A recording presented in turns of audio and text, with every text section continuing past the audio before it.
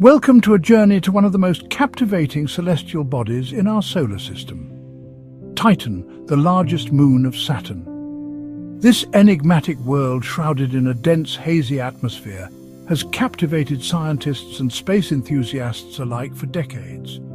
What lies beneath Titan's veil? Could it harbour life as we know it, or perhaps something even more extraordinary? Join me as we delve into the mysteries of this alien, yet strangely familiar world. Titan is a moon that holds clues to the very building blocks of life, a place where the chemistry of the cosmos might just echo our own planet's distant past. Titan sets itself apart from other moons in our solar system with its remarkable atmosphere.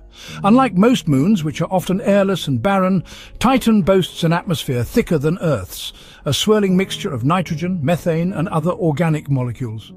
This thick atmosphere creates a unique and dynamic environment with weather patterns that shape the moon's surface in remarkable ways.